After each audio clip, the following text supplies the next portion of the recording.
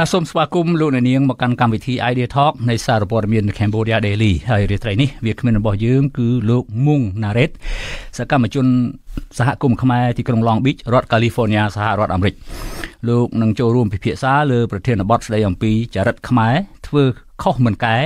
ឬសុំទោសព្រោះ ខ្លាចថោកប្រសិនបើលោកអ្នកនាងមានសំណួរឬយោបល់សូមសរសេរនៅក្នុងប្រអប់ comment ខាងក្រោមនៃការផ្សាយរបស់យើងតាមអាស័យដ្ឋាន www.facebook.com/withoutfearorfavorkh សូមជម្រាបសួរលោកមួងណារ៉េតបាទ បាទសូមជម្រាបសួរលោកហាសានហើយសូមជម្រាបសួរបងប្អូនប្រិយមិត្តអ្នកដែលកំពុងតាមដានស្ដាប់និងទស្សនាការផ្សាយរបស់សារព័ត៌មាន Cambodia Daily ជាទីមេត្រីផងបាទបាទសូមអរគុណដែលបានចូលរួមដោយងើបពីព្រលឹមនៅប៉ែកខាងលិចសហរដ្ឋអាមេរិកបាទបាទថ្ងៃនេះយើងព្យាយាមរៀនសូត្រយល់ដឹងពីគ្នាទៅវិញទៅមកក្នុងនាមជាជាតិសាសន៍ខ្មែរយើងខ្លះខ្លះធ្វើត្បិតតែយើងមិនមែនជាអ្នកជំនាញខាងនរវិទ្យា anthropology ក្តីប៉ុន្តែយ៉ាងហោចណាស់ក៏យើងបានរៀនសូត្រខាងសង្គមវិទ្យា sociology ហើយសូមហើយហើយរួមនឹងការភពប្រសពប្រស្រ័យរួមរស់នៅជាមួយគ្នាក្នុងសង្គមជាតិដែលជាការពិសោធន៍ផ្ទាល់បន្ថែមនឹងការរៀនសូត្រនៅក្នុងសាលាផងដែរបាទមកទល់ពេលនេះយើងដឹងដូចគ្នាថាជនជាតិខ្មែរយើងមិនទាន់បានស្គាល់ធាតុពិតរស់ រសជាតិពិតអត្ថន័យពិតប្រកបទេអំពីអ្វីដែលខ្មែរគ្រប់រូបចង់ឃើញចង់បានហៅថាខ្មែរដូចគ្នាខ្មែរតែមួយចេះស្រឡាញ់រួបរวมគ្នាជាធ្លុងមួយធ្វើអ្វីដើម្បីប្រយោជន៍រួមនោះចំពោះអ្នកធំមានអំណាចឬក៏មានទ្រព្យសម្បត្តិស្ដុកស្ដំវិញគេគិតថាគេត្រូវទាំងអស់មិនចេះខុសហើយក៏មិនចេះសុំទោសប្រជាពលរដ្ឋរបស់ខ្លួនដែរបើគេធ្វើកំហុសឆ្គងសំណួរទី1របស់ខ្ញុំលោកមុងណារ៉េតថាតើចរិតខ្មែរ ពីធម្មជាតិឬពីឬឬបើធ្វើខុសមិនកែឬមិនសុំទោសព្រោះខ្លាចថោកឬខ្លាចអន់នោះ អរគុណច្រើនលោកហាសានណាហើយដូចលោកបាន មានប្រសាសន៍ពីខាងដើមដែរថាការជជែកនេះគ្រាន់តែជាការសង្កេតមួយជ្រុងដែលមិនមែនក្នុងឋានៈជាអ្នកជំនាញខាងប្រវត្តិសាស្ត្រឬក៏ជាអ្នកជំនាញឯកទេសខាងអត្តចរិតឬអេរិយាមាជាតិរបស់ប្រជាប្រដ្ឋខ្មែរទេគ្រាន់តែថាជាការសង្កេតនឹងមើលឃើញជ្រុងមួយដែលតាមបទពិសោធន៍នៅក្នុងការរស់នៅក្នុងសង្គមយើងលំមគួរសមដែរព្រោះខ្ញុំវ័យ48ឆ្នាំទៅហើយឆ្នាំនេះអឺតែយើងមុននឹងជជែកចរិតខ្មែរនេះមែនតើទៅមិនមែនជារឿងអីថ្មីដែលយើងជប់ ពីខាងណាមកយកមកជជែកទេព្រោះអីកាលពីឆ្នាំ1973គឺមានខ្មែរយើងម្នាក់ដែរដែលលោកបាននិពន្ធជាសិភៅមួយក្បាលដែលមានចំណងជើងថាចរិតខ្មែរដែលលោកឈ្មោះថាប៊ុនច័ន្ទមុលកាលឆ្នាំ73នោះគឺលោកបានរៀបរាប់ច្រើនណាស់អំពីចរិតរបស់ខ្មែរហើយក៏លោកមានប្រសាសន៍ការពារនិងសូមអធិស្ឋានខន្តីបងប្អូនយើងដែរថាមិនមែនជាការឌីលថ្មីទេប៉ុន្តែជាការសង្កេត ដើម្បីឲ្យយើងសិក្សារៀនសូត្រអំពីចំណុចខ្វះខាតរបស់យើងទៅហើយយើងលើកដំកើងជាតិសាសន៍និងតម្លៃរបស់ខ្មែរយើងទេមិនមែនការជជែកនេះគឺជាការដែលបន្តិចបង្អាក់ឬក៏ដូចថាបំផ្លិចបំផ្លាញគេពួយពងដ៏ល្អរបស់ជាតិសាសន៍ខ្មែរទេប៉ុន្តែចង់កែប៉ុន្តែមុននឹងយើងចាប់ផ្ដើមជជែកចំណុចនេះនេះគឺ យើងសាកគិតទៅមើលថាតើពាក្យថាចរិតហ្នឹងវាមានន័យថាយ៉ាងម៉េចចរិតហ្នឹងគឺបានន័យថាជាការប្រព្រឹត្តចរិតគឺជាការប្រព្រឹត្តគឺជាកិរិយាមាយាទគឺជារឹក ពាគឺជាបែបបត់និយាយទៅគឺអ្វីដែលយើងធ្វើគ្រប់គ្នាហ្នឹងគឺជាជាចរិតហើយចរិតហ្នឹងយូរយូរទៅវាទៅជាទម្លាប់មួយដែលអាចคล้ายទៅជាបើយើងធ្វើគ្រប់គ្នាស្តៀងស្តៀងគ្នាអញ្ចឹងវាคล้ายទៅជាទំនៀមទម្លាប់មួយបានដែលគេអាចនឹងមើលមកយើងភ្លាមគេចោទថាយើង ឬក៏គេអាចចាត់ទុកថាយើងបែបហ្នឹងតាមពិតទៅវាមិនមែនថាទាំងអស់ទេប៉ុន្តែបើសិនជាមានទំនោរនៅក្នុងសង្គមមួយតើទៅចេះអញ្ចឹងច្រើន គឺអាចគេម៉ៃទៅថាម៉ៅតែម្ដងថាយើងមានចរិតបែបហ្នឹងសំណួរលោកហាសានដែលសួរថាតើវាជាចរិតខ្មែរធម្មជាតិដែរទេ នៅក្នុងការដែលធ្វើខុសមិនចេះសារភាពកំហុសហើយអឺ ថែមទាំងផ្កើនឬក៏អាចថាខ្លាចថោកឬអ្វីនោះតាមពិតនៅពេលដែលលោកប៊ុនច័ន្ទមុលរៀបរាប់អំពីចរិតខ្មែរគឺមានច្រើនយ៉ាងដែលតាំងពីឆ្នាំ73មកបើយើងមើលទៅដូចជារឿងហ្នឹងមិនទាន់សាបរលាបនៅឡើយទេខ្ញុំគិតថាចំណុចដែលលោកលើកឡើងនោះអំពីចរិតខ្មែរមានដល់ទៅជាង10ចំណុចណោះចំណុចដែលសំខាន់បំផុត ដែលលោកលើកគឺតកតងនឹងខ្មែរយើងដូចថាមានចរិតអញនិយម ដូចថាដូចថាមានតែអញ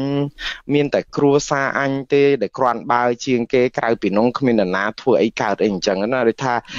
បទថាពាក្យចាស់លោកដាស់តឿនព្រៀនប្រដៅក្រានរំលឹកយើង ថាចេះឯងឲ្យវិចារក្រែងចេះគេឲ្យអោនឲ្យដាក់គ្រាប់ងើយស្កកអីឡាក់នឹងឡាក់នោះគឺគ្រាន់តែជាការដាស់តឿនប៉ុន្តែការអនុវត្តផ្ទាល់ហ្នឹងគឺច្រើនតែអញ្ចឹងចរិតមួយទៀតគឺដូចជាលោកប៊ុនច័ន្ទមុលរៀបរាប់នៅក្នុងសភៅនោះដែរដូចថា ក្តិចត្រួយគ្នាចរិតដែលមិនចេះសាតអអេកត្រេកអនៅអ្វីដែលជាការជោគជ័យរបស់អ្នកដតីឬក៏គ្នាឯងហ្នឹងគេថាចំណែននិន្ទាឈ្នាននេះខ្លាចតែគេលឹះខ្លួនអីអញ្ចឹងណាដូចថាប្រឹងខ្លួនឯងឲ្យឲ្យលិចលូតលឹះគេបើថាគេលឹះហ្នឹងគឺខ្លួនឯងហ្នឹងគឺអត់អាចរស់នៅបានឬក៏ត្រូវរកវិធីយ៉ាងណាបំភ្លេចបំផ្លាញគ្នាក្តិចគ្រួយត្រួយគ្នាជន់ពលិចអញ្ចឹងនៅក្នុងន័យហ្នឹងគឺយើងខ្វះមុទិតាបាទន័យខ្វះការត្រេកអរនឹងអំណរសាទរនឹងអ្វីដែលជារបស់ដែលគេបានដោយធម៌អីអញ្ចឹងអានេះគឺជាចំណុចមួយដែលជារឿងអកុសលដែរសម្រាប់ជាតិសាសន៍យើងហើយមួយទៀតគឺរឿងដែលគេហៅថាមិនបានស៊ីឆ្លៀឲ្យខ្ទេចបាទ ភាសាអសរោះបន្តិចដែរនៅក្នុងការប្រើតែនៃភាសាអ្នកស្រុកគឺចង់និយាយថាអារបស់ដែលខ្លួនឯងបានទទួលទានហើយនឹងគឺថាបើសិនជាហូបមិនអស់អញ្ចឹងទៅគឺជ្រុះទៅនឹងគឺថាយកជើងទៅធាក់ឲ្យខ្ទេចដើម្បីកុំឲ្យអ្នកផ្សេងនឹងរើសមកអាចហូបបានអីអញ្ចឹងទៀតទៅដើម្បីដូចថាចរិតផ្ដាច់ផ្ដិលអីអញ្ចឹងហើយមួយទៀតហ្នឹងគឺចរិតដូចថា ចេះតិចតួចទេប៉ុន្តែធ្វើឲ្យខ្លួនឯងនឹងសម្បើមខ្លាំងមែនតើអឺដូចថាបលឹះអឺ ចេះមួយនឹងថាចេះ10អីអញ្ចឹងទៅដើម្បីយកបងអែបអបឡែបឡប់ឲ្យថាខ្លួននឹងក្រាន់បើអីអញ្ចឹងលាក់នឹងលាក់ខ្ញុំសរុបថាអ្វីដែលលោកប៊ុនច័ន្ទមុលនិយាយពីទាំងអស់ហ្នឹងបងប្អូនសូមទៅមើលសភៅចរិតខ្មែរនឹងឡើងវិញប៉ុន្តែ ចំណុចមួយដែលសង្កេតឃើញចុងក្រោយនេះគឺរឿងតកតងនឹងសិលធម៌និងគុណធម៌របស់ខ្មែរយើងដែល ភាគភាគច្រើនគឺនៅក្នុងកម្រិតថ្នាក់ដឹកនាំដាក់ដឹកនាំនយោបាយទៅទៀតណាលោកហាសានដែលជាជាជារឿងដែលរឿងអកុសលដែរនៅពេលដែលយើងខ្វះអឺការដែលគុណធម៌នៅក្នុងការចេះទទួលកំហុស អឺមិនមែនបានន័យថាការទទួលកំហុសហ្នឹងគឺយើងត្រូវតែធ្វើគ្រប់ពេលទេជួនកាលយើងអាចថាកន្លែងខ្លះដើម្បីរក្សាមុខមាត់ខ្ញុំមិនដឹងប៉ុន្តែកំហុសច្រើនមែនតើដែលយើងមិនសារភាពយើងមិនសុំទោសហើយបែរទៅជាយើងធ្វើឲ្យជនរងគ្រោះឈឺចាប់វាជាគំរូមិនល្អតតែសោះខ្ញុំឲ្យឧទាហរណ៍ខ្លីមួយថានេះអាចមិនមែនជាចរិតទេប៉ុន្តែ ថ្នាក់ដឹកនាំនយោបាយបង្កើតឲ្យគេឌីលថាជាចរិតរបស់ខ្មែរព្រោះយើងជាខ្មែរមិនអញ្ចឹងនៅពេលដែលថ្នាក់ដឹកនាំជាខ្មែរដែរព្រោះតែយើងធ្វើអញ្ចឹងបើសិនជាសាសយើងយើងដឹងថាគាត់ខ្មែរហេតុអីគាត់មិនព្រមការពារយើងប៉ុន្តែបើសាសដតីមើលមកគេឌីលយើងដែរថាអូខ្មែរគេធ្វើអញ្ចឹងនៅពេលដែលយើងខុសឆ្គងអីយើងអត់ហ៊ានសុំទោសខ្ញុំមិននិយាយដល់កម្រិតថ្នាក់នយោបាយថ្នាក់ដឹកនាំប្រទេសខ្ញុំឲ្យឧទាហរណ៍តែខ្លីមួយទៅសំបីតែក្នុងជីវភាពគ្រួរួសារឬក៏ការគ្រប់គ្រងស្ថាប័នធម្មតានេះហ្នឹងក៏មានថ្នាក់ដឹកនាំមួយចំនួន ដែលជាខ្មែរយើងដូចថាដូចថាអ្វីដែលខ្លួនខុសហ្នឹងគឺមិនព្រមកាយកំហុសហ្នឹងដោយថាខ្លាចតែអន់ឧទាហរណ៍ឲ្យជាកំហុសឆ្គងមួយធំផ្នែកគុណធម៌ដែរឧទាហរណ៍ស្ថាប័នសារព័ត៌មានចាស់បើសិនជាយើងផ្សាយព័ត៌មានដែលមិនត្រឹមត្រូវមិនពិត ឬក៏តែខ្វះព័ត៌មានដែលមិនគ្រប់ជ្រុងជ្រោយហើយវាមានការប៉ះពាល់ដល់អ្នកដតីអីអញ្ចឹងដែលជាជនរងគ្រោះនៃព័ត៌មានរបស់យើងហើយយើងមិនបានផ្សព្វផ្សាយកែតម្រូវអីនោះអាហ្នឹងក៏វាជាសិលធម៌មួយដែរប៉ុន្តែថ្នាក់ដឹកនាំខ្ញុំនិយាយពីកម្រិតថ្នាក់ដឹកនាំកំហុសច្រើនយ៉ាងនៅក្នុងប្រទេសកម្ពុជាយើង ការដែលខកខានមិនបានសុំទោសឬកែកំហុសគឺយើងមើលពីប្រវត្តិសាស្ត្ររបស់ខ្មែរយើងគឺផ្ដើមពីមេដឹកនាំខ្មែរក្រហមមេដឹកនាំខ្មែរក្រហមប្រព្រឹត្តកំហុសធ្ងន់ធ្ងរនៅក្នុងប្រវត្តិសាស្ត្រមនុស្សមួយលាន7សែនអ្នកស្លាប់មិនដែល មានរបបខ្មែរក្រហមណា កម្មាភិបាលខ្មែរក្រហមណា នៅក្នុងឋានៈខ្លួនជាមន្ត្រី ខ្មែរក្រហមនឹងសរសេរសារសុំទោសប្រជាពលរដ្ឋខ្មែរឲ្យគ្នាអស់ចិត្តធម្មតាការស្លាប់1លាន7សែនអ្នកហ្នឹងមិនមែនតែមេដឹកនាំពីរនាក់វាមនុស្សស្ទើរតែពេញប្រទេសហើយដែលចូលដៃនៅក្នុងការសម្លាប់ប៉ុន្តែខ្លួនជាអ្នកគ្រប់គ្រងប្រទេសនៅពេលនោះអញ្ចឹងខ្លួនត្រូវតែមានភារកិច្ចនៅក្នុងការទទួលខុសត្រូវផ្នែកសិលធម៌ដែរមិនអញ្ចឹងអត់ដែលមានការសុំទោសត្រង់ចំណុចហ្នឹងលោកមូនរ៉េតដែលខ្ញុំចង់ជម្រាបសួរសំណួរទី2របស់ខ្ញុំហ្នឹងថាលោកធ្លាប់ធ្វើការងារ ជាមួយបរទេសផងជាមួយខ្មែរផងនៅក្នុងសាលាក្តីខ្មែរក្រហមតើមានមេខ្មែរក្រហមប្រមាណអ្នកបាទមានមន្ត្រីថ្នាក់ដឹកនាំរាជរដ្ឋាភិបាលបច្ចុប្បន្ននឹងប្រមាណអ្នកមានសេចក្តីក្លាហានចេញមុខមក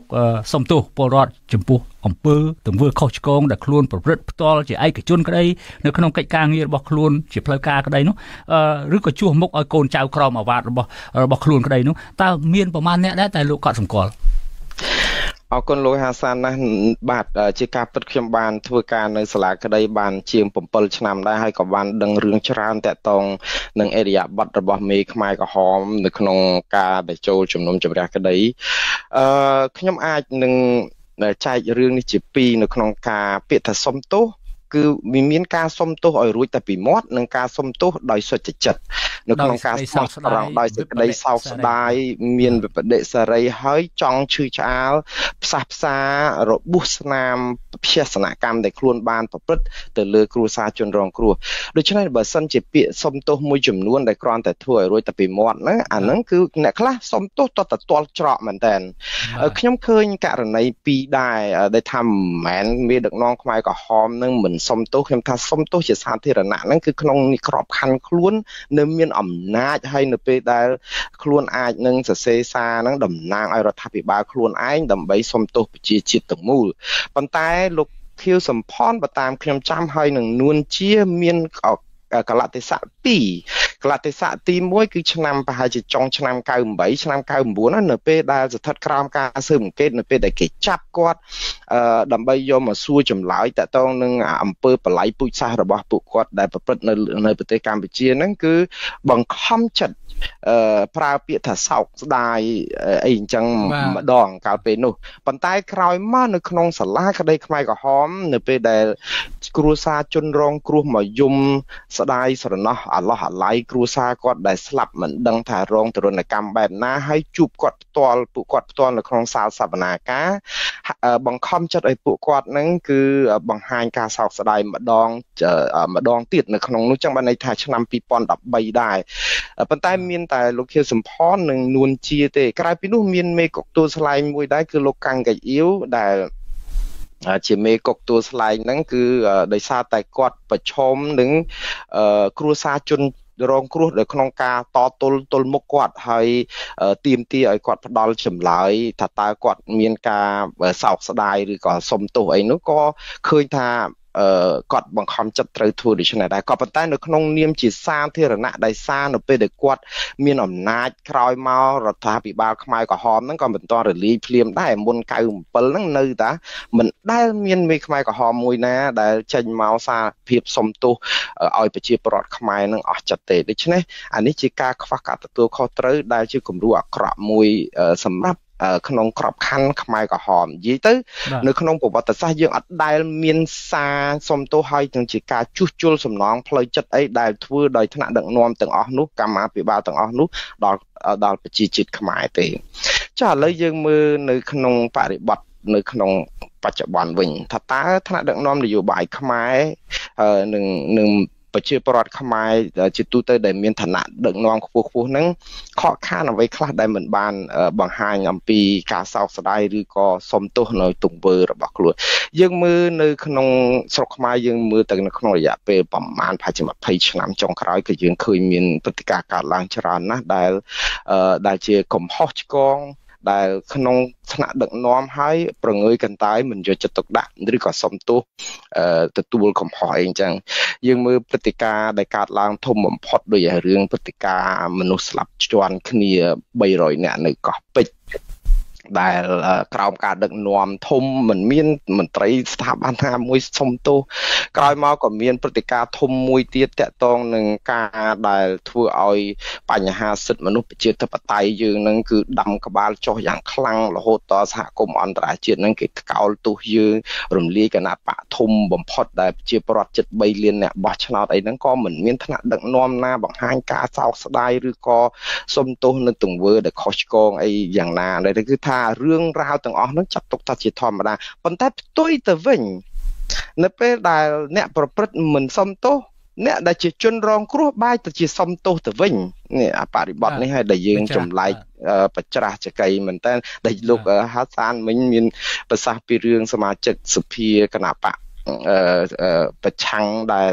ធ្លាប់ត្រូវគេវាយដំនៅក្បែរមុខរដ្ឋសភា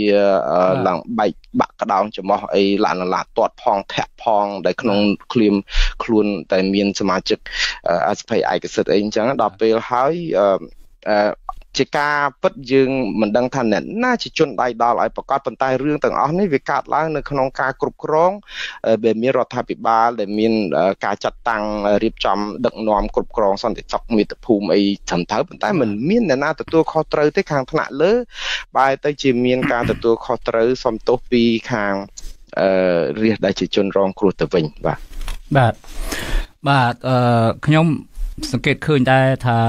ភាគច្រើនអ្នករងគ្រោះនឹងទៅសុំទោសហើយអ្នកដែលរងគ្រោះទៅសុំទោសនឹងទៅទៀតក៏ដើម្បីប្រយោជន៍ផ្ទាល់ខ្លួនដែរទេមិនមែនជាប្រយោជន៍រួមប្រយោជន៍សង្គមអីទេពីព្រោះ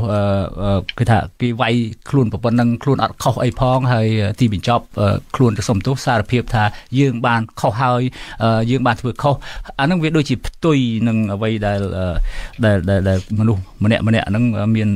ឧត្តមគតិបាទនៅក្នុងសង្គមវណ្ណៈខ្មែរដែលមានស្ដេចផងនមើនផងមន្ត្រីអង្គញាភិក្ខុសង្ឃនិងរាជថ្នាក់ក្រោមគ្មានអំណាចប្រជាពលរដ្ឋតូចតាចទុនខ្សោយអឺក៏មិនដាច់ចិត្តទៅហ៊ានប៉ះពាល់អ្នកអ្នកត្រឹសអ្នកធំអ្នកខ្ពស់នោះដែរហេតុអ្វីក៏ពិបាកហាមាត់និយាយសុំទោសពលរដ្ឋខ្លួនឯងម្លេះបាទបាទតាមពិតអានេះគឺជាការសង្កេតមួយដែរដែលយើងឃើញថារឿងការសំទោសនេះគឺនៅក្នុងទម្លាប់មួយ មនុស្សអាចគិតថានៅពេលដែលសុំទោសអាចថាអន់ខ្លួនឬក៏ថោកខ្លួនប៉ុន្តែ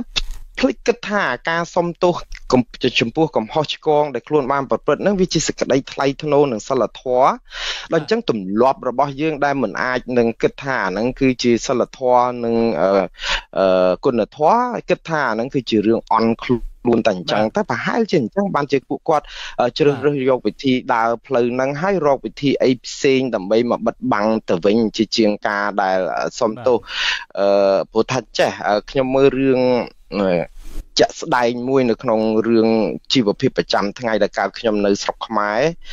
នៅពេលដែលមានគ្រោះថ្នាក់ចរាចរណ៍អីមួយកើតឡើងតាមដងផ្លូវអឺយើងកម្រឃើញភៀកគីដែលនៅក្នុង ដូចថាប៉ះទង្គិចគ្នាហ្នឹងគឺព្រមទទួលកំហុសគឺថាម្នាក់ម្នាក់គឺថាប្រឹងតែត្រូវរៀងខ្លួនដូចថាអឺជាការពិតបើតែក្នុងករណីដែលជនរងគ្រោះនឹងគឺជាអ្នកដែលខ្វះខាតខ្លាំងហើយទៅប៉ះអ្នកមានអ្នកធំអីអញ្ចឹងឬក៏គិតថាខ្លួនមិនមានលទ្ធភាពសងសំណងខូចខាតនឹងវាធំពេកទេលុតជង្គង់សាពះសំទោសហើយប៉ុន្តែបើសិនជាអ្នកដែលមានអតិពលតែបន្តិចឬក៏មានឬក៏អីហ្នឹងគឺ អាចថាភ្លាមមករំពេចហ្នឹងគឺមិនមិនទទួលស្គាល់ថាវាជាកំហុសឬគឺថាត្រូវតាតតាំងតឹងតសៃកឬក៏ទូរស័ព្ទខ្វែងដៃខ្វែងជើងដើម្បីរកខ្នងមកកាងដើម្បីអន្តរាគមអញ្ចឹងប៉ុន្តែនៅក្នុងពេលជាមួយគ្នាហ្នឹងបើមានភាគីណាម្នាក់ហ៊ានតែសុំទោសគឺគេនឹងជន់100 100ភ្លាម ថាជាអ្នកខុសជាអ្នកអីអញ្ចឹងទៅរករឿងដើម្បីទាសំណងរឿងនេះរឿងនេះខ្ញុំជឿថាអាចកែប្រែបានដែរចំណុចនៅក្នុងការដែលរាសសាមញ្ញធម្មតាជួបបញ្ហាហើយបែរជា ទាស់សម្ដីគ្នាឬក៏តវ៉ាហ្នឹងខ្ញុំថាមកពីបរិបទនយោបាយនៅក្នុងស្រុកខ្មែរដែរយើងមើលនៅស្រុកដតីច្រើនណាស់ខ្ញុំមិនថាស្រុកណានឹងវាអត់ខ្ចោះទេវាមានមានរឿងល្អកកអញ្ចឹងស្តៀងគ្នាណាប៉ុន្តែមិនច្រើនសន្ធឹងពេកដោយសារគេមានប្រព័ន្ធច្បាប់គ្រប់គ្រងហ្នឹងវាហើយសិលធម៌ហ្នឹងវារៀងខ្ពស់បន្តិចទៅធ្វើឲ្យការអធិស្ឋានគ្នាហ្នឹងក៏រួយប៉ុន្តែអធិស្ឋានគ្នានឹងការសុំទោសនេះក៏វាអាស្រ័យទៅលើមានប្រព័ន្ធគ្រប់គ្រងមួយឧទាហរណ៍ថានៅក្នុងផ្នែកគ្រោះថ្នាក់ចរាចរណ៍បើសិនជាយានយន្តឬក៏អ្នកធ្វើដំណើរទាំងសងខាងហ្នឹងមានការធានារ៉ាប់រងត្រឹមត្រូវឧទាហរណ៍ថាយើងមិនត្រូវការឆ្លោះគ្នាទេព្រោះទុកឲ្យសមត្ថកិច្ចជាអ្នកវែកញែកដោះស្រាយទៅឲ្យក្រុមហ៊ុនធានារ៉ាប់រងការខូចខាតអីអញ្ចឹងដោះស្រាយរៀងរៀងខ្លួនទៅយើងទៅបង់ឲ្យតែក្រុមហ៊ុនហ្នឹងហើយយើងជាអ្នកបើកបរហ្នឹងយើងមានសមានចិត្តជាមួយគ្នាឧទាហរណ៍ថាអូតើលោកសុខសប្បាយមិនទៅឈឺយ៉ាងម៉េចត្រូវការឡានពេទ្យអីអញ្ចឹងហើយជួយគ្រាគ្នាជួយអីដូចថាយើងទៅភ្លាមក្នុងនាមជាមនុស្សភ្លាមទៅថាអត់មានទៅប្រឹងមើលឡានឬក៏មើលអីយើងទៅមើលជីវិតមនុស្សណាដែលសំខាន់ព្រោះដោយសារអាទាំងអស់នោះទាំងការខូចខាតការអីហ្នឹងគឺមានប៉ូលីសឬក៏មាន insurance ធានារ៉ាប់រងអីហ្នឹងគឺគេធានាអស់ហើយយើងអត់ត្រូវការទៅខ្វល់រឿងហ្នឹងយើងខ្វល់ជីវិតមនុស្សដែលជាសិលធម៌បន្ថែមរឿងនេះវាកើតឡើងបានតើតែយើងមានអាប្រព័ន្ធហ្នឹងប៉ុន្តែបើយើងខ្វះប្រព័ន្ធហ្នឹងទេគឺថាតាប៉ះគ្នាគឺយើងចាប់ផ្ដើម ទេរកអន្តរាគមឬក៏យើងត្រូវតាតឹងសរសៃកជជែកយកតែត្រូវហើយអាពាក្យថាសំទោសហ្នឹងគឺដឹងថាមិនអាចចេញពីមាត់បានព្រោះខ្លាចខុសខ្លាចថោកខ្លាចអន់ខ្លាចគេរករឿងបាទបាទអឺការគោរពការសំទោសគ្នាការប្រស្រ័យក្នុងសង្គមដែលខ្ញុំរៀនសូត្រខាងសង្គមវិទ្យា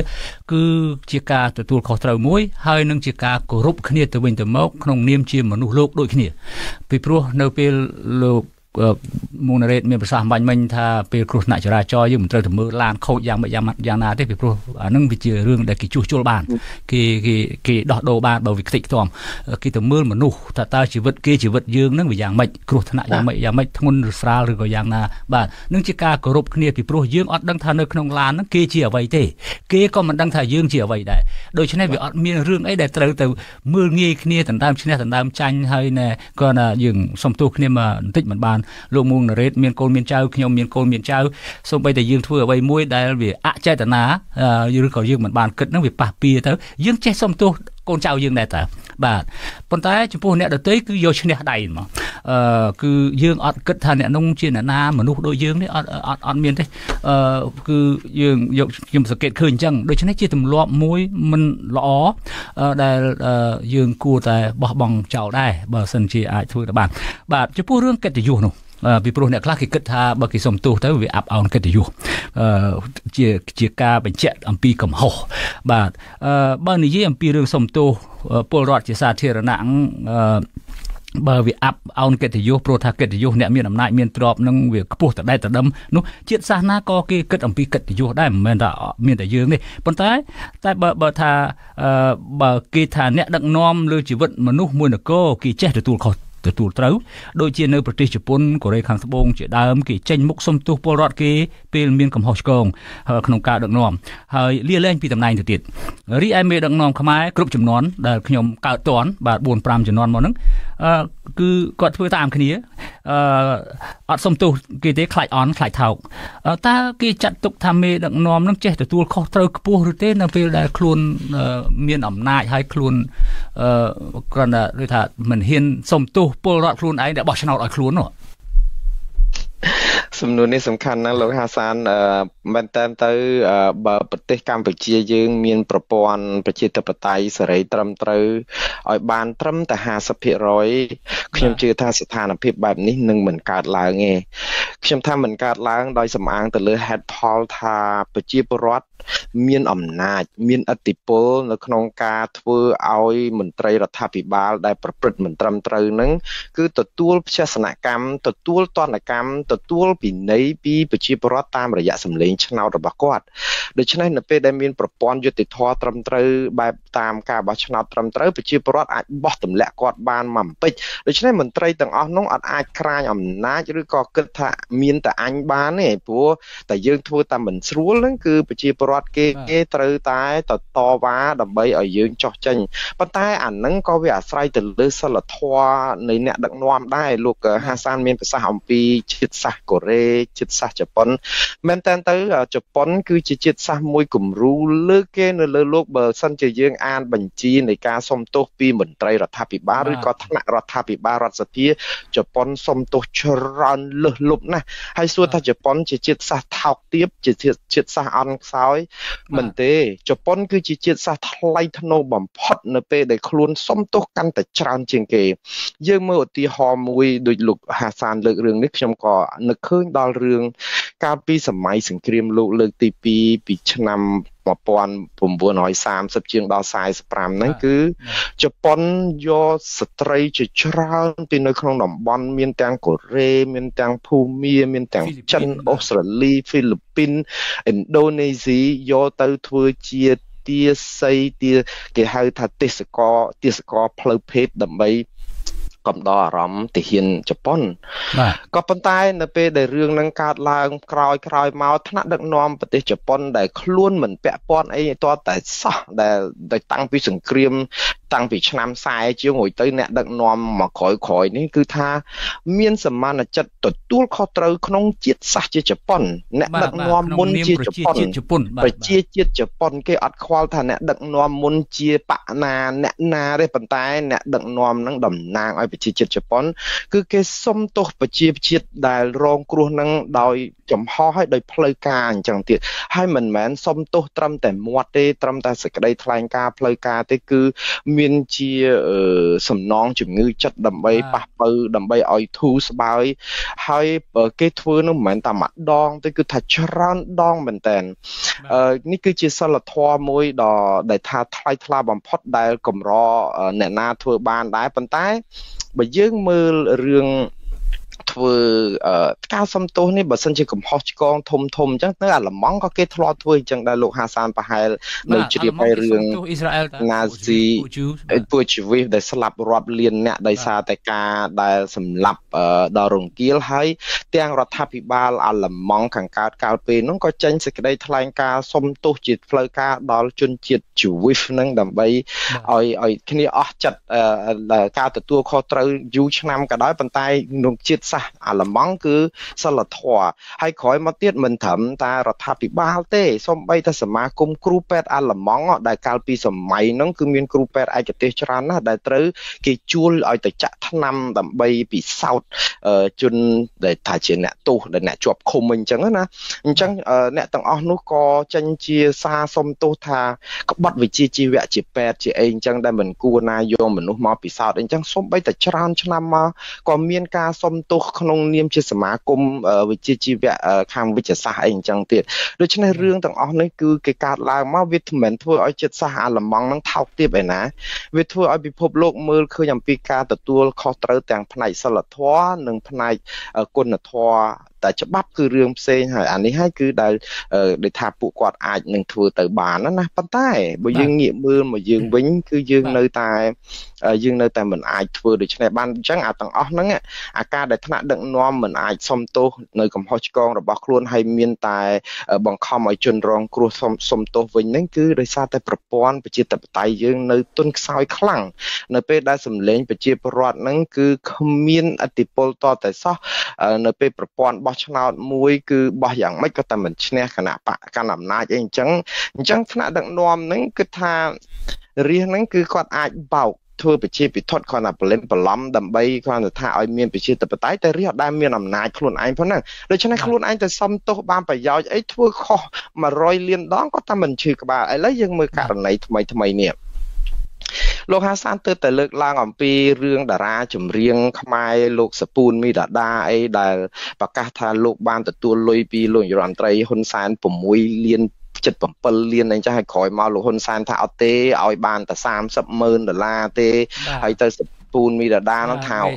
តាមពិតទៅមានហ៊ុនចឹងបាទមានដល់ទៅ40ម៉ឺនដុល្លារនេះគឺរឿងលោកសពូនមីដាដាមួយមិនចឹងពីថ្នាក់ដឹកនាំតែពាក់ព័ន្ធចុះមានចាំទេកាលប្រហែលឆ្នាំមុនរឿងសានប៊ុនធឿនដែលពីដើមឡើយមកគឺជំទាស់តវ៉ា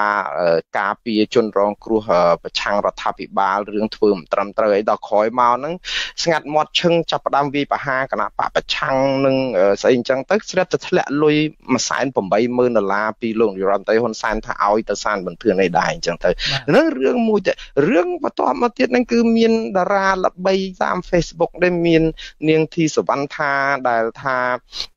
កាលពីមុនគ្រប់គ្រងគណៈប្រឆាំងបកឆាំងក្រោយមកបីប្រឆាំងហ្នឹងគឺថាបីវាយវាយវាយតតតុសាច់តែម្ដងហ្នឹងគឺក៏មានសារនៅក្នុងនឹងនៅក្នុងការឆ្លើយឆ្លងគ្នាតាក់ទងនឹងការដែលឲ្យលុយពីលោកនាយរដ្ឋមន្ត្រីហ៊ុនសែនពីមុនមកហ្នឹងរហូតអាចដល់លានដុល្លារនៅក្នុងសារហ្នឹងយើងមិនឃើញផុសតាងណាដើម្បីស៊ើបអង្កេតឲ្យច្បាស់លាស់គាត់ថាសារហ្នឹងវាបែកធ្លាយអីតែអញ្ចឹងដូច្នេះលុយហ្នឹងវាសន្ធឹកសន្ធាប់ដែលតាក់ទងនឹងជួរថ្នាក់ដឹកនាំរដ្ឋាភិបាលយកទៅសោក យើងប្រើពាក្យសោកចោះព្រោះមិនដឹងថាថ្នាក់ដឹកនាំរដ្ឋាភិបាលឯណាត្រូវឲ្យលុយតារា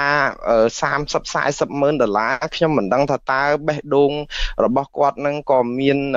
ចិត្តសប្បុរសស្មេះចោះអ្នកក្រនៅពេញភូមិហ្នឹងបើសិនជាឲ្យទៅតារាតារាគាត់មានលទ្ធភាពនៅក្នុងការច្រៀងរាំដើម្បីបានលុយប្រចាំថ្ងៃប៉ុន្តែហេតុអីបានជាទៅជួយតារាចុះនៅ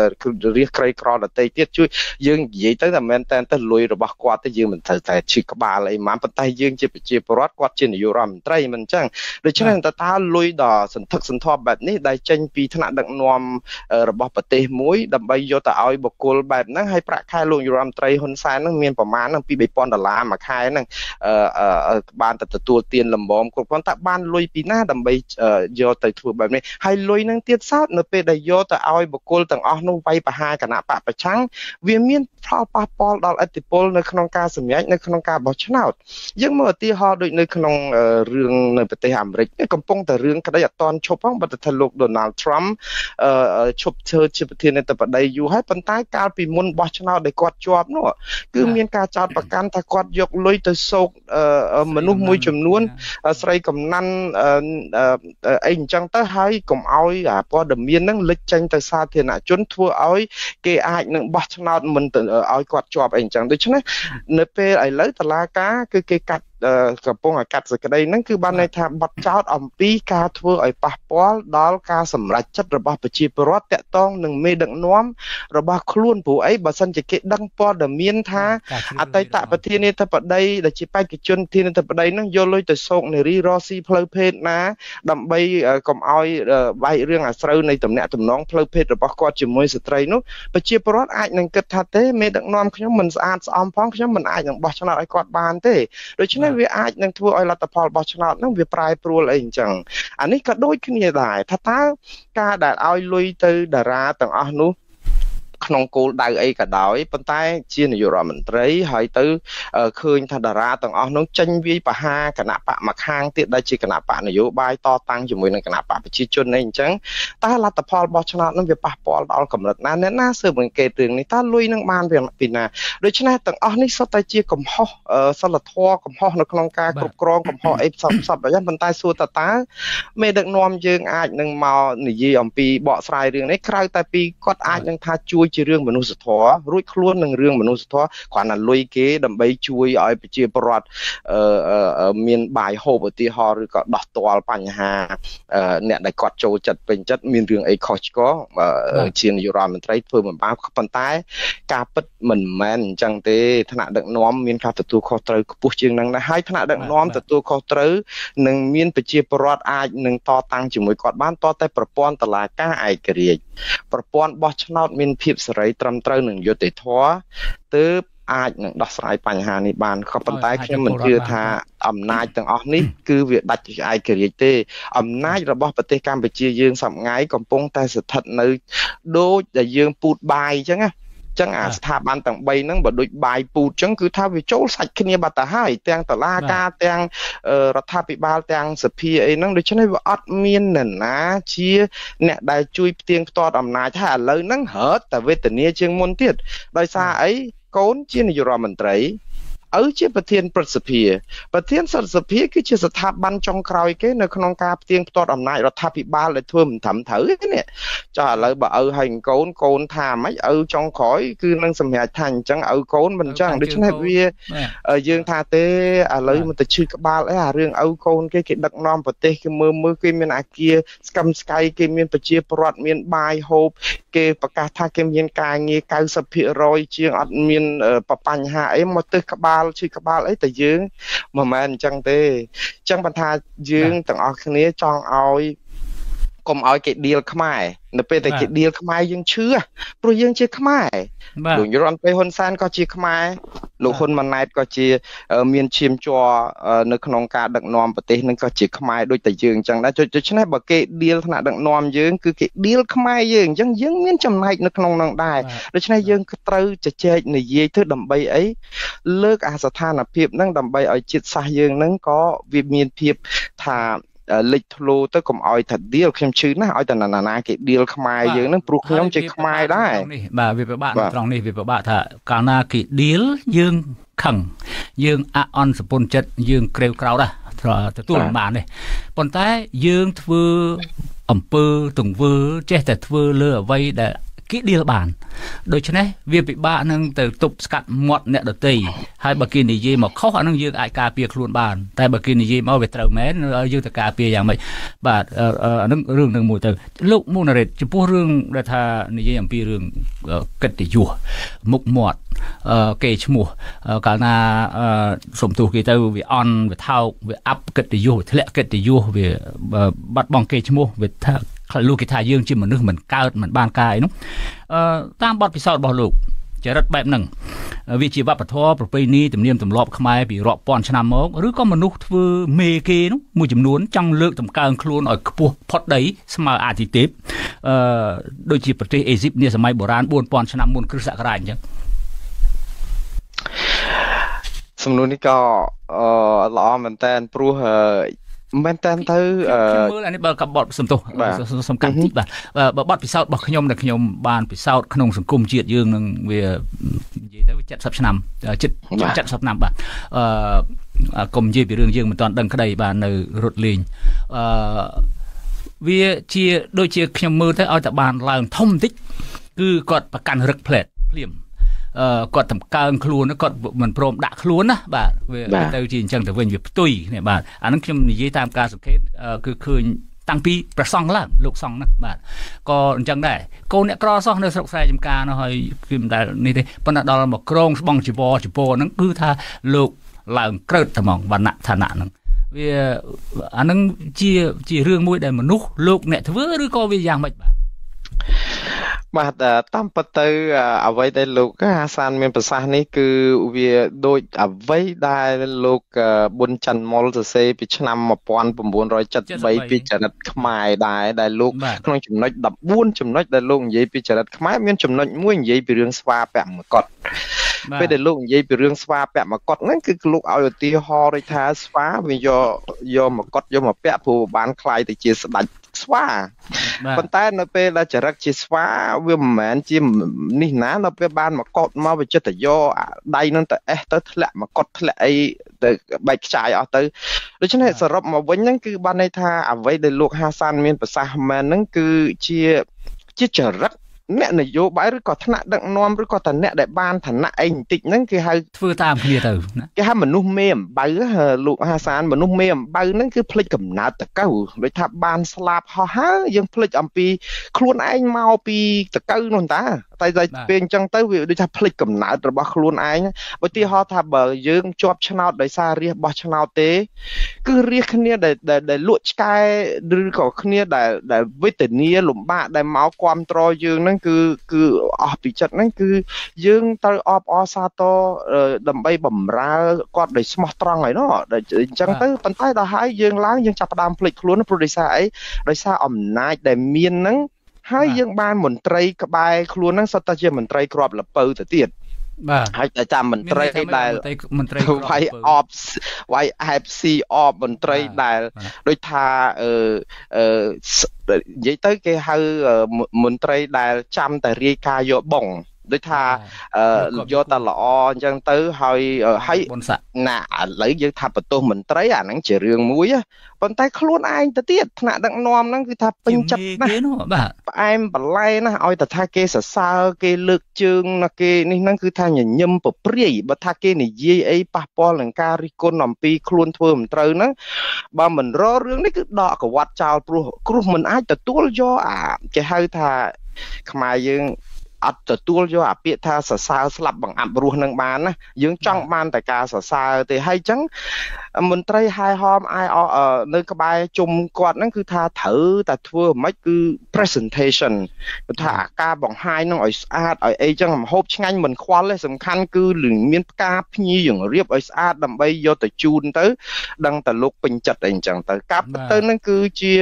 ជាទម្លាប់អាក្រក់មួយនៅក្នុងប្រព័ន្ធដឹកនាំដែរហើយខ្ញុំជឿថាទាំងអស់នេះណា គឺកើតឡើងមកដោយសារប្រព័ន្ធដឹកនាំរដ្ឋទេ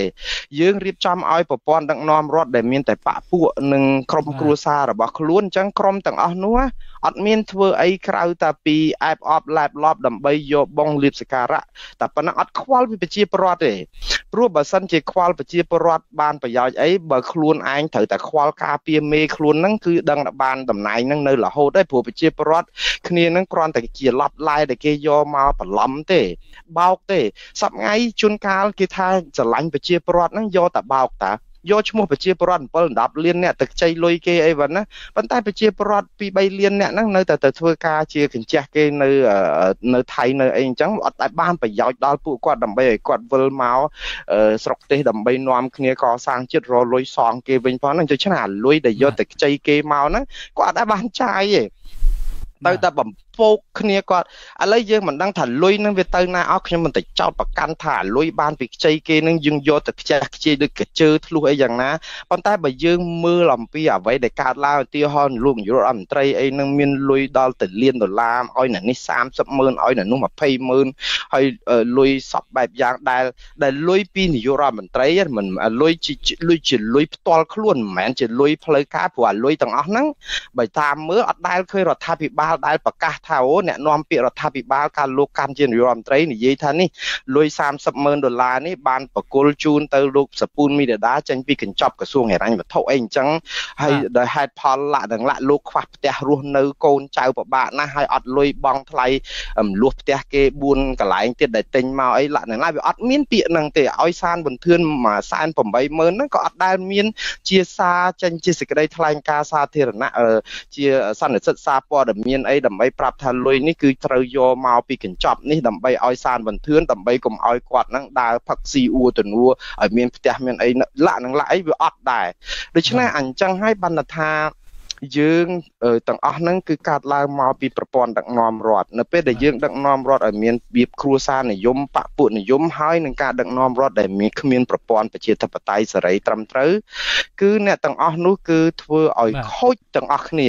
និយាយទៅគឺអ្វីអ្វីទាំងអស់ហ្នឹងគឺយើងខូចអ្នកខាងក្រោមលែងធ្វើអីកើតទេព្រោះឥឡូវទីហោយើងចង់បានថ្នាក់ដឹកនាំមួយជាគំរូមិនចឹងយើងថ្នាក់ថ្នាក់ដឹកនាំតែមានកំហុសឆ្គងអីសារភាពហើយសុំចោះចេញពីតំណែងឧទាហរណ៍ថាខ្ញុំខុសអញ្ចឹងអ្នកក្រោយក្រោយគេចាប់ផ្ដើមមើលទៅអ្នកឃើញថ្នាក់ដឹកនាំខ្ញុំមានវីរៈភាពដ៏ត្រឹមត្រូវមានសេចក្តីថ្លៃថ្នូរគុណធម៌កត់ធិថាហ៊ានស៊ីហ៊ានសងហ៊ានផ្លោះលបងហ៊ានជាប់គុកបានន័យថាតែពេលអញ្ចឹងទៅប្រជាពលរដ្ឋ មើលតាមទៅធ្វើតាមប៉ុន្តែពេលដែលប្រជាពលរដ្ឋមើលទៅស្នាក់ដឹកនាំយើងវិញក្រៅតែពីអាមឹងហែងជាប់គុកច្បាក់អានេះត្រូវតែបំផ្លាញអានេះក្បត់ជាតិ10ចំនួន3ចំនួនអានោះត្រូវតែចូលគុកហែងបើមិនចូលមកសុំទោសគឺហែងត្រូវតែបំផ្លាញហែងកំតិចហែងឲ្យខានតែបានទោះក្នុងតម្លៃណាលក្ខណៈដូចអញ្ចឹងប្រជាពលរដ្ឋទាំងអស់គ្នានឹងស្ដាប់ឮសូរតែធម៌ទេសនាចម្រៀងដដែលដដែលបាទ អញ្ចឹងវាចូលនៅក្នុងផ្នត់គំនិតទាំងមនុស្សចាស់ទាំងមនុស្សក្មេងទាំងចំនួនក្រោយអញ្ចឹងទាំងអស់ហ្នឹងមនុស្សចាប់ផ្ដើមមិនអាចនឹងយកអីជាគំរូអីបានណាមនុស្សយើងដើម្បីកែទម្លាប់ហ្នឹងគឺតើតែយើង start ពីមនុស្សយើងគ្រប់គ្នាហ្នឹងឲ្យមានជាគំរូឥឡូវគំរូយើងធ្វើបែបណា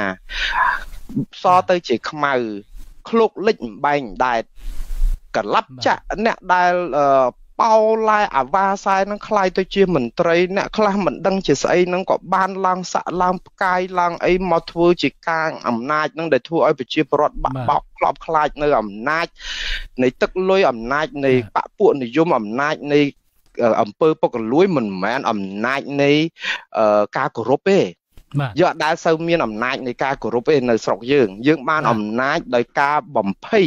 ឲ្យបាក់បបខ្លោបខ្លាចនេះអំណាចបែបនេះគ្រោះថ្នាក់ណាស់ព្រោះធម្មតាពាក្យថាការគោរពគឺយើងសន្សំវា មិនមែនជាការភ្ជង់កំភ្លើងគេឲ្យយើងគោរពទេព្រោះអាចដែរយើងភ្ជង់ឲ្យគេគោរពគេគោរពដែរប៉ុន្តែមិនមែនស្មោះអស់ពីដួងចិត្តទេអញ្ចឹងនៅក្នុងន័យហ្នឹងហើយដែលយើងយើងត្រូវការគំរូភាពយើងត្រូវការឲ្យមានការផ្លាស់ប្ដូរផ្នត់គំនិតបែបនេះដើម្បីអីយើងកែប្រប្រែស្រុកយើងឲ្យវាឲ្យវាមានគេហៅថាការទទួលខុសត្រូវអញ្ចឹងដូច្នេះនៅក្នុងរយៈពេល40ឆ្នាំកន្លងមកនេះយើងអាចមានឃើញ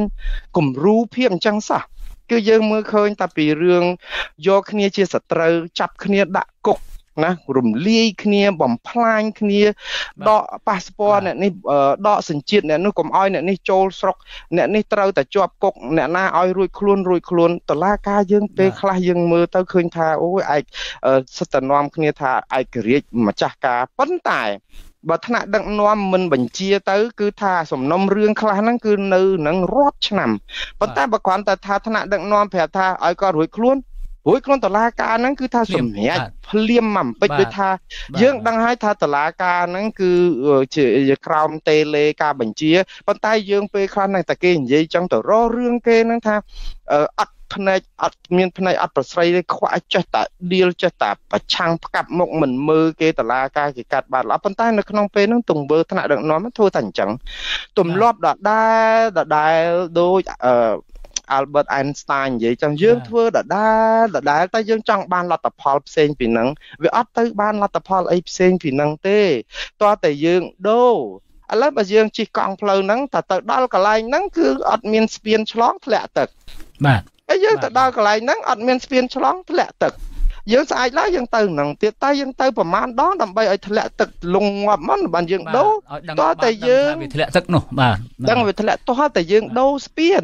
តោះតែយើងទៅរកផ្លូវផ្សេងតោះតែយើងធ្វើទូកតោះតែយើងធ្វើអីទៅបើសិនជាយើងនៅតែធ្វើអញ្ចឹងយើងនៅតែធ្លាក់ទឹកហើយយើងចង់បានឲ្យទៅឆ្លងទៅខាងនោះមិនរួចខ្ញុំនិយាយនេះមិនមែនជាការដាក់បន្ទុកដល់បងប្អូនអ្នកនៅក្នុងបាទមិនមែនទេយើងដឹកនាំនឹងទេតាមពិតទៅពួកគាត់បានធ្វើកិច្ចការងារនេះ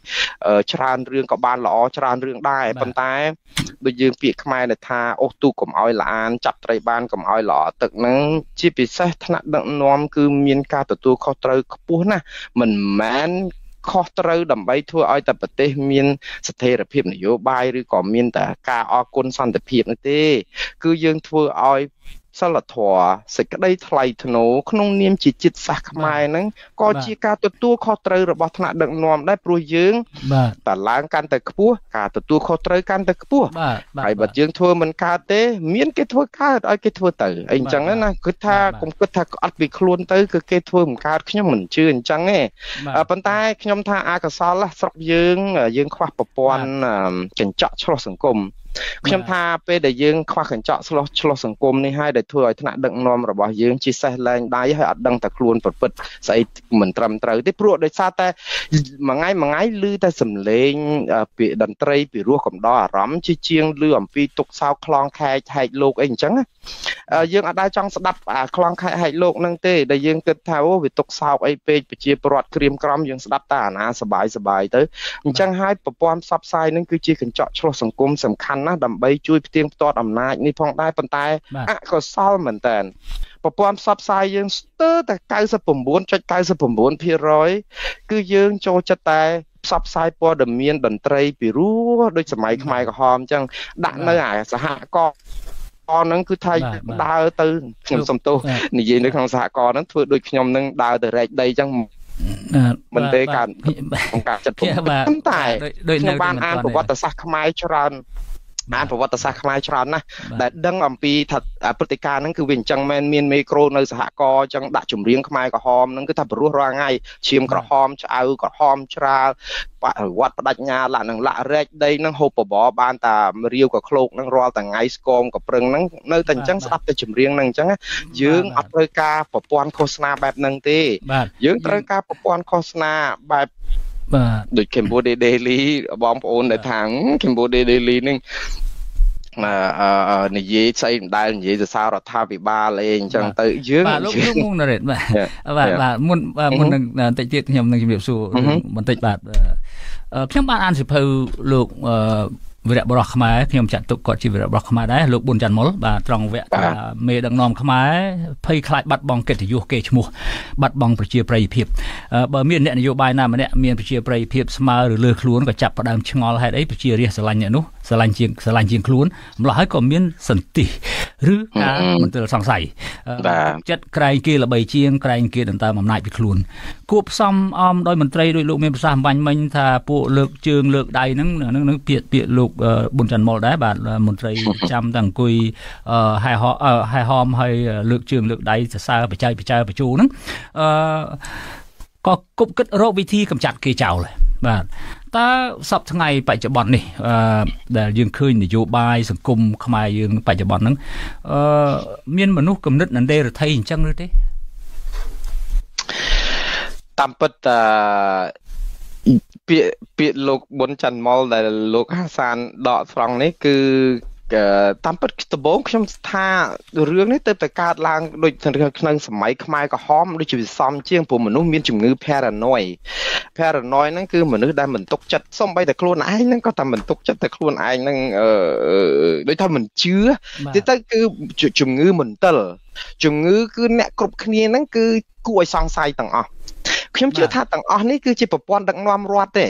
ប្រជាពលរដ្ឋអាចមានមន្ទិលតែក្នុងករណីតែប្រព័ន្ធដឹកនាំរដ្ឋធ្វើឲ្យយើងមានមន្ទិលព្រោះធម្មតាតែជាការពិតដែរបើថាខ្លួនយើងយើង យើងយើងត្រូវចាំដែរណានៅក្នុងសម្ព័ន្ធគ្រួសារក៏អញ្ចឹងដែរខ្ញុំបើកវងកញ្ចក់តូចមួយថាពាក្យសេចក្តីទុកចិត្តហ្នឹងគឺជារឿងដែលសំខាន់បំផុតនៅក្នុងជីវិតរបស់យើងទាំងអាពាហ៍ពិពាហ៍ទាំងគូសកលព្រោះអាសេចក្តីស្រឡាញ់សេចក្តីអីហ្នឹងវាកើតឡើងដោយសេចក្តីទុកចិត្តតាបំរំលោភសេចក្តីទុកចិត្តតែម្ដងគឺអាស្រឡាញ់ហ្នឹងគឺអស់តទេណាវាចោលតទេដូចគ្នានៅក្នុងប្រព័ន្ធដឹកនាំរដ្ឋគឺអញ្ចឹងដែរ ដល់ពេលដែលយើងធ្វើឲ្យមានមន្ទិលប្រជាពលរដ្ឋចាប់ផ្ដើមឆ្ងល់ហើយជាពិសេសឆ្ងល់ដូចសប្ងៃលែងទុកចិត្តប្រជាពលរដ្ឋខ្មែរសប្ងៃអត់ទុកចិត្តប្រព័ន្ធដឹកនាំរដ្ឋយើងទេណាខ្ញុំខ្ញុំនិយាយនេះមិនមែនបានន័យថាអីចុះបើអត់ទុកចិត្តប្រព័ន្ធដឹកនាំរដ្ឋគេរត់ចោលស្រុកខ្មែរអស់ហើយគេហេតុអីបានមួយលាន7 10លានអ្នកគេនៅបានសុខសាន្តអីអញ្ចឹងអាចអាចជាការដែលថាគាត់រស់នៅដោយភិកច្រើនអីខ្វះជំរឿសអីអញ្ចឹងមិនដឹងទៅណាទៅណារួចណា យើងដឹងហើយនៅអាមេរិកនេះមួយឆ្នាំមួយឆ្នាំគ្រាន់តែប្រជាពលរដ្ឋខ្មែរវិច្ចវង្វិចចង់មករស់នៅសហរដ្ឋអាមេរិកដោយជួលគេការជួលគេធ្វើរបៀបណាដើម្បីបានមកអាមេរិកហ្នឹងគឺថារាប់មិនអស់ទេច្រើនមែនតើអ្នកជាពិសេសអ្នកដែលមានលុយច្រើនមែនតើមិនដឹងថាវាមិនច្បាស់លាស់ដោយសារតែមិនទុកចិត្តប្រព័ន្ធដឹកនាំរដ្ឋនៅពេលដែលមិនទុកចិត្តប្រព័ន្ធដឹកនាំរដ្ឋធ្វើឲ្យមនុស្សរៀងល្ងាល្ងាឡើងទុកចិត្តគ្នាហើយមិនទុកចិត្តប្រព័ន្ធដឹកនាំរដ្ឋកើតឡើងដោយសារអី កើតឡើងដោយសារការដឹកនាំបែបខ្វះយុត្តិធម៌និងសមធម៌នៅក្នុងសង្គមឥឡូវយើងមើលឧទាហរណ៍ខ្លីមួយ នៅពេលដែលគណៈបពប្រឆាំង3លាននាក់គេបោះឆ្នោតឲ្យបាន53កៅអី55កៅអីរួចទៅដើម្បីផ្ទៀងផ្ទាត់អំណាចជាមួយនឹងគណៈបកកាន់អំណាចនិងរដ្ឋាភិបាលហើយស្រាប់តែទៅទេស្រាប់តែរំលាយគេចោលផឹងបាត់ឆឹង ហើយទៅសាប់ធ្វើឲ្យដូចអ្វីគ្មានអ្វីកាត់ឡើងអីអញ្ចឹងណាប្រជាពលរដ្ឋ3លានអ្នកនៅរងាចាប់ផ្ដើមឆ្ងល់ហ៎អូមិនចឹងទៅមិនបានទៅជាអញ្ចឹងអញ្ចឹងយើងខំប្រឹងតវ៉ាស្អីប្រមូលផ្ដុំគ្នាដើម្បីឲ្យមានកម្លាំងដើម្បីមានប្រជាធិបតេយ្យឥឡូវគេរំលាយខ្សលបាត់ទៅអញ្ចឹងហើយចេះតែស្ងាត់ឈឹងអីអញ្ចឹងប្រជាពលរដ្ឋចាប់លែងទុកចិត្តហ៎នៅពេលដែលលែងទុកចិត្តរបៀបដឹកនាំរស់ហើយលែងទុកចិត្តមួយទៀតឲ្យតែមន្ត្រីបកប្រឆាំង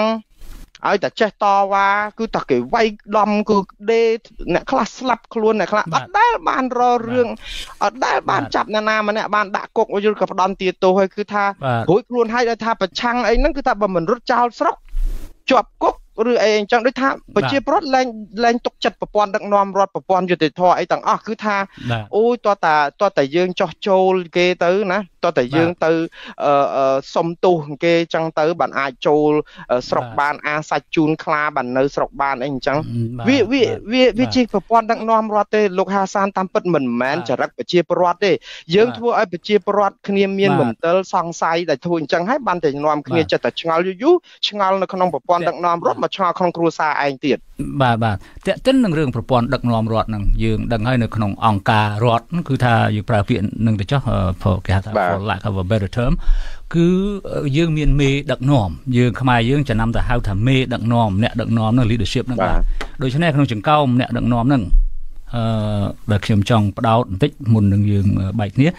នៅក្នុងវប្បធម៌និងជំនឿសាសនាខ្មែរមានការព្រានប្រដៅអំពីសិលធម៌សម្រាប់មេដឹកនាំ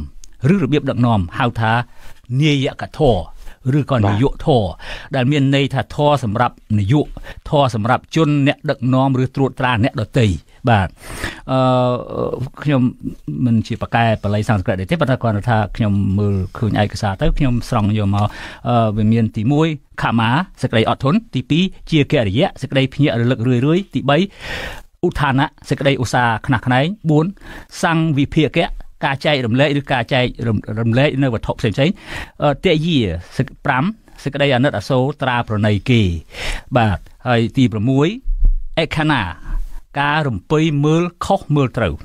បាទអឺខ្ញុំចង់ជំរាបសួរចេះចុងក្រោយជាមួយចុងក្រោយអឺតើមេដឹកនាំខ្មែរមិនបានទទួលការអប់រំផ្លូវសិលធម៌ទាំងនេះឬទេ បានជាដឹកនាំមិនទទួលខុសហើយ កាច់គ្នាកម្ចាត់គ្នាសម្លាប់តែខ្មែរគ្នាឯងអរគុណណាស់ហើយខ្ញុំរីរាយមែនតើដែលបានជួបលពូហាសានតាក់ទងនឹងរឿងអឺស្រាវជ្រាវសាស្ត្រាបាលីស្លឹករឹតអឺស្ដាប់ជក់ចិត្តមែនតើដោយសារតែតាមពិតនៅក្នុងច្បាប់ សម្រាប់ដឹកនាំប្រទេសនីមួយនីមួយថ្នាក់ដឹកនាំខ្មែរយើងនឹងតាមពុទ្ធសាសនាក៏មានគោលការណ៍ដឹកនាំក្រមសីលធម៌អីហ្នឹងក៏សម្បើមណាស់សម្បើមមែនតើចង់និយាយថាคล้ายទៅជាអន្តិ តឬក៏បដិតអីហ្នឹងគឺថាជ្រួតជ្រាបអស់ដើម្បីឲ្យคล้ายទៅជាអុកញ៉ាសម្បីតែអុកញ៉ាហ្នឹងក៏គឺថាដើម្បីបានបរមញាហ្នឹងគឺខ្លួនឯងហ្នឹងត្រូវប្រតិបត្តិយ៉ាងណាសិលធម៌ដើម្បីការពារអីអញ្ចឹងណាក៏ប៉ុន្តែនៅពេលដែលមានអតិផរណានៃថ្នាក់ដឹកនាំនឹងអុកញ៉ាឬក៏ដោយថាការដែលបានឡើងឋានៈហ្នឹងវាស្រួលពេក វាមិនមែនដូចថាដូចថាជើងកាលពីដើមឡើយនឹងមុននឹងបានងារឬក៏មុននឹងបានតំណែងឋានៈឡើយមិនបាញ់និយាយអេសម្បីតែផ្កាយមួយខ្លាយជាដំសនីឬក៏ថាបាននឹងគ្រប់គ្រងនឹងទៅហ៊ាននឹងគឺថាមានរាប់រយរាប់ពាន់អីអញ្ចឹងតែឥឡូវជួនកាលផ្កាយពេញស្មាមិនដឹងកូនទៅហ៊ាននៅណាមានតែខ្លួនឯងបើកឡានខ្លួនឯងទៀត ដូច្នេះជួនកាលទៅវាវាដូចថាវាលឿនពេកទៅវារំលងអស់អាក្រមសិលធម៌វិជ្ជាជីវៈហ្នឹងមិនដឹងថាតើត្រូវមកបន្ទិញទៅអីព្រោះធម្មតានៅពេលដែលយើងបានអឺ គោលការណ៍សិលធម៌សេចក្តីថ្លៃថ្នូរនឹងមកដើម្បីឲ្យខ្លួនយើងគេហៅដូចកសាងកុសលនឹងវាបានច្រើនមកដើម្បីឲ្យមានបុណ្យមានអីប៉ុន្តែយើងអត់ចាំបាច់កសាងអញ្ចឹងហងនឹងយើងដូចថា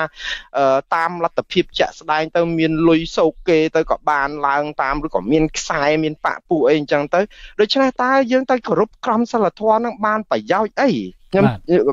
សំណួរសួរថាតើឧទាហរណ៍ថ្នាក់ដឹកនាំអញ្ចឹងចាស់ តើឲ្យគាត់ត្រូវគោរពសក្រមសិលធម៌ទស្សពិតរាជធម៌ចុះឧទាហរណ៍ថាទីថ្នាក់ដឹកនាំនឹងគឺត្រូវមានមេត្តាករណាខន្តីលៈនឹងលៈឬក៏អាចថាយ៉ាងហោចណាស់ជៀសវាងអកតិទាំង4នឹងទៅសម្រាប់ស្អីនឹងឲ្យវាស្មើភាពគ្នាប្រជាពលរដ្ឋទាំងបកណាអីអាទាំងអស់នឹងក៏អត់ត្រូវការព្រោះអីហេតុអីបានត្រូវការយកអាទាំងអស់នឹងមកបើការបោះឆ្នោតមួយដែលអាចនឹងទោះធ្វើយ៉ាងម៉េចក៏គាត់ជាប់ ប្រជាពលរដ្ឋឯណាទៅមានសិទ្ធិទម្លាក់ថ្នាក់ដឹកនាំបើប្រព័ន្ធបោះឆ្នោតមួយដែលបោះស្អីក៏គេជាប់អីចឹងគាត់ថ្នាក់ដឹកនាំរដ្ឋគេអាចមានមធ្យោបាយដើម្បីធ្វើឲ្យប្រព័ន្ធបោះឆ្នោតរឿងឡើងកាន់អំណាចហ្នឹងគឺគេអាចធ្វើបានតាមអំណាចរបស់គេក្រមបពុរបស់គេអញ្ចឹងយកប្រព័ន្ធដឹកនាំរដ្ឋហ្នឹងបង្កើតឲ្យមានភាពអយុត្តិធម៌អញ្ចឹងអស់ទៅហើយហើយអយុត្តិធម៌ហ្នឹងនៅពេលដែលមានប្រព័ន្ធពុករលួយអីចូលនៅក្នុងហ្នឹងពួកគាត់អត់ចាំបាច់នឹងទៅគោរពប្រជាពលរដ្ឋអោនលំទោនស្ដាប់សំឡេងប្រជាពលរដ្ឋឯងលែងមានតម្លៃអីទាំងអស់សម្រាប់ពួកគាត់ វាគ្រាន់តែជាការកំដរដើម្បីគ្រាន់តែលប់ឡាយរបស់គាត់ដូចខ្ញុំបានជម្រាបខាងដើមដូច្នេះអាក្រមសិលធម៌ទាំងអស់ហ្នឹងខ្ញុំជឿថាមានតែទាំងអស់ហ្នឹងប៉ុន្តែខ្ញុំមិនជឿថាពួកគាត់ឈឺក្បាលនឹងយកមកអានទេអញ្ចឹងហើយបានវាត្រូវការមានអ្វីដែលគួរធ្វើបានហ្នឹងគឺទាល់តែមានអ្នកដឹកនាំនយោបាយចំនួនណា ចំនួននឹងឬក៏ចំនួនណាទៀតហ្នឹងគឺផ្លាស់ប្ដូររបៀបដឹកនាំហ្នឹងហើយដឹកនាំរបៀបជា role model ប៉ុន្តែខ្ញុំសូមជម្រាបចេះជាខ្លីចុងក្រោយមុននឹងយើងបញ្ចប់បាទអមរែកនេះគឺធ្ងន់មែនតែនសម្រាប់នាយរដ្ឋមន្ត្រីខ្មែរបច្ចុប្បន្នគឺជាពិសេសលោកហ៊ុនម៉ាណែតអមរែកដែលធ្ងន់នេះគឺ បើទោះបីជាលោកហ៊ុនម៉ាណែតខំប្រឹងប្រែងយ៉ាងណាក៏ស្ថានភាពនេះពិបាកនឹងស្ដារមែនតើព្រោះដោយសារតែអ្វីដែលប្រព្រឹត្តកន្លងមកក្នុងរយៈពេលជាង30ឆ្នាំហើយឥឡូវលោកត្រូវទទួលអាទាំងបំវិចនឹងទាំងមូលមកនឹងដោយមិនមានការប្រែប្រួលអីទាំងអស់គឺមកមកសំពីនឹងដដែលទៀត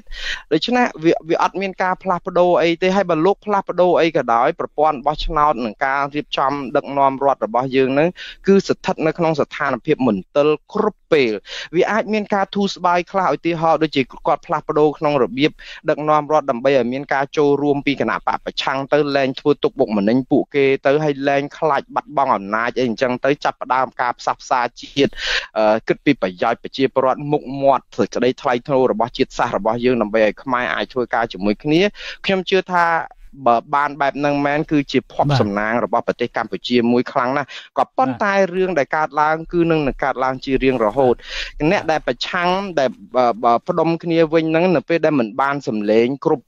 ពួកគាត់នឹងនៅតែឡំប៉ាដដែលព្រោះអីប្រព័ន្ធដឹកនាំរដ្ឋនឹងគឺវាខូចបាត់ទៅហើយទាំងប្រព័ន្ធតឡាការប្រព័ន្ធបោះឆ្នោតហើយធ្លាប់តែមានមន្ទិលដែលយើងហៅថាជំងឺ paranoid នៅពេលដែលមានភាពមន្ទិលលែងទុកចិត្តគ្នាហ្នឹងគឺនឹងលែងទុកចិត្តគ្នារហូតនឹងគិតថាអូចាំបើគាត់ធ្លាប់រំលាយបានអញ្ចឹងថ្ងៃណាមួយគាត់រំលាយទៀតដូច្នេះឃើញឃើញជាងបង្កើតឲ្យមានបព្វធម៌ល្អកកហើយអត់ដែលសុំទោសទៀតអញ្ចឹងដោយសារអត់ដែលសុំទោសប្រជាពលរដ្ឋគិតថាថ្ងៃណាមួយក៏ធ្វើទៀតដែរព្រោះដោយសារគាត់អត់ដែលបានទទួលកំហុសហងដូច្នេះប្រជាពលរដ្ឋមិនទិលតែរហូតទេតែយ៉ាងណា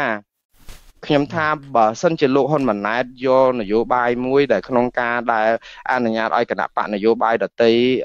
ចូលរួមប្រកួតប្រជែងដោយសេរីត្រឹមត្រូវនឹងយុត្តិធម៌តាមកម្រិតណាក៏ដោយខ្ញុំជឿថាគ្មានទេយុត្តិធម៌នៅស្រុកខ្មែរព្រោះដោយសារប្រព័ន្ធដឹកនាំរដ្ឋប្រើប្រាស់ប្រព័ន្ធយន្តការលុយជាតិប្រព័ន្ធមន្ត្រីរាជការជាតិនិងតឡាការលក្ខនឹងលក្ខអីហ្នឹងវាគ្រប់គ្រងគ្រប់ស្ថាប័នគ្រប់ការឃោសនាបោះឆ្នោតអីវាមិនអាចរកយុត្តិធម៌បានទេអញ្ចឹងមិនបាច់ប្រើពាក្យថាសុំយុត្តិធម៌តែសុំឲ្យមានកម្រិតណាមួយដើម្បីអាចលំងកុំឲ្យអាក្រក់ដូចបច្ចុប្បន្នខ្ញុំជឿថាអាចប្រជាពលរដ្ឋនឹងព្រមលេបបែបហ្នឹងក៏ថាបានអញ្ចឹងដូច្នេះនេះគឺជាវិញ្ញាសាសម្រាប់លោកហ៊ុនម៉ាណែតទេបាទបាទលោកមូណារ៉េតមុនយើងចប់ណាមួយនីតិបាទបាទយើងជជែកគ្នាវា1ម៉ោងហើយអឺមានសំណួរចុងក្រោយបងអស់ ខ្ញុំបានឃើញលោកបង្ហោះក្នុង Facebook ថាមានប្រជាពលរដ្ឋខ្មែរច្រើនអឺប្រមាណពាន់ប្រមាណ100នាក់ហើយសឹងតែ100%អឺចង់ឃើញលោកជួយបំរើកិច្ចការងារខាងសារព័ត៌មានវិញ ហើយបើមានឱកាសសូមជួយ សារព័ត៌មាន The Cambodia Daily ឥឡូវហ្នឹងលោកសម្រេចយ៉ាងម៉េចបាទអឺខ្ញុំមែនតើទៅខ្ញុំស្ដាប់សម្លេងប្រជាពលរដ្ឋខ្មែរដែលខ្ញុំពេលដែលស្ទង់មតិហ្នឹងទៅ ខ្ញុំឃើញអំពីអឺភាពខ្វះព័ត៌មានដែលជាកញ្ចក់មួយខាងទៀតដើម្បីឆ្លោះសង្គមខ្ញុំមិនជឿថាអឺ ប្រជាពលរដ្ឋនិយាយទៅប្រជាពលរដ្ឋយើងនៅមានភាពរងាច្រើនណាស់ដោយសារតែការខ្វះព័ត៌មានមួយខាងទៀតរដ្ឋាភិបាលមិនពេញចិត្តទេព័ត៌មានមួយខាងទៀតក៏ប៉ុន្តែអាហ្នឹងមិនមែនជារឿងអីភ្ញាក់ផ្អើលរបស់យើងទេចំពោះខ្ញុំគឺខ្ញុំសប្បាយចិត្តមែនតើនៅពេលដែលនិយាយទៅគឺអាជីពជាអ្នកសារព័ត៌មានហ្នឹងគឺជាអាជីពដ៏ថ្លៃថ្នូររង ព្យុះព្យូមាច្រើនប៉ុន្តែ ជាអាជីពថ្លៃថ្នូរមួយក្នុងការផ្ដល់ព័ត៌មានមួយជ្រុងទៀតដើម្បីឲ្យប្រជាពលរដ្ឋបានជាគំនិតប្រជាពលរដ្ឋបានជាគំនិតទៅហើយងឹតបាទបាទ ត្រឹមត្រូវពាក្យថាភ្លឺហើយជាសម្លេងសម្រាប់គ្នាដែលគ្មានសម្លេងប្រជាពលរដ្ឋច្រើនណាស់ដែលអត់ដែលមានសម្លេងសោះតែដែលមានសារព័ត៌មាន Cambodia Daily អញ្ចឹងយើងបានសម្ភាសពីការទុកសោករបស់គាត់ទៅអានេះហើយជាជាដូចថាជាសក្តីរីករាយរបស់យើងដែលដែលស្ដាប់សម្លេងទៅគេយកទៅដោះស្រាយមិនដោះស្រាយយ៉ាងណាប៉ុន្តែ នៅពេលដែលមនុស្សកំពុងតែសោកសង្រេងព្រាត់ប្រាសបាត់បង់ប្រយោជន៍របស់ខ្លួនដែលគេធ្វើបាបអំពើអយុត្តិធម៌ហើយបានយើងស្ដាប់នេះគឺជាការព្យាបាលរបួសផ្លូវចិត្តមួយដ៏ធំធេងហើយនៅពេលដែលរដ្ឋាភិបាលដោះស្រាយបញ្ហាគាត់ទៀតអានោះគឺជាការដោះស្រាយជួយបានបនច្រើនណាអញ្ចឹងហើយបានថាខ្ញុំពេញចិត្តនឹងវិលទៅធ្វើជាអ្នកសារព័ត៌មានហើយរីករាយនឹងជួយសារព័ត៌មាន Cambodia Daily ទៅតាមលទ្ធភាពដែលខ្ញុំអាចជួយបានបាទបាទបាទសូមអរគុណយើងខ្ញុំស្វាគមន៍ជានិច្ច អ្វីដែលជួយនៅក្នុងប្រយោជន៍រួមប្រយោជន៍សង្គមបាទដោយយើងមិនយើងឃើញមិនយើងនិយាយអញ្ចឹងបាទក្នុងន័យយើងជួយកែលម្អគ្នាជាជាកញ្ចក់ដោយលោកមានប្រសាសន៍អញ្ចឹងលោកមូនរ៉េតខ្ញុំសូមអរគុណលោកដែលបានអង្គុយជាមួយគ្នា1ម៉ោងជាងដូច្នេះហើយយើងជួបគ្នានៅពេលក្រោយទៀតបាទសូមជូនពរក្នុងឆ្នាំថ្មីហ្នឹងបាទដល់ក្រុមអរគុណបាទសាធុសាធុសាធុហើយក៏សូមជូនពរដូចគ្នាបាទអរគុណជំរាបលាលោកហាសានហើយនិងបងប្អូនទាំងអស់បាទ បាទលោកអ្នកនាងទស្សនិកជនជាទីមេត្រីយើងខ្ញុំសូមថ្លែងអំណរគុណលោកអ្នកនាងដែលបានខិតខំចំណាយពេលវេលាតាមដានស្ដាប់និងទស្សនាសារព័ត៌មាននៅ Cambodia Daily តាមបណ្ដាញសង្គម Facebook យើងនឹងវិលមកជួបលោកអ្នកនាងទៀតនៅថ្ងៃស្អែកប្រសិនបើលោកអ្នកនាងមានសំណួរឬយោបល់សូមសរសេរទៅកាន់កម្មវិធីផ្សាយរបស់យើងតាមអាស័យដ្ឋាន www.facebook.com/withoutfearorfavorkh សូមជូនពរលោកអ្នកនាងឲ្យបានប្រកបដោយសេចក្តីសុខសេចក្តីចម្រើនគ្រប់ទិវារាត្រីសូមជម្រាបលា